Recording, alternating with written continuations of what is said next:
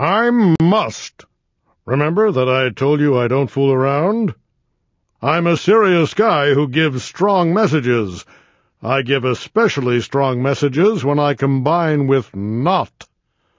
Johnny, you must not touch the stove. It's hot. That means do not do this. It is prohibited.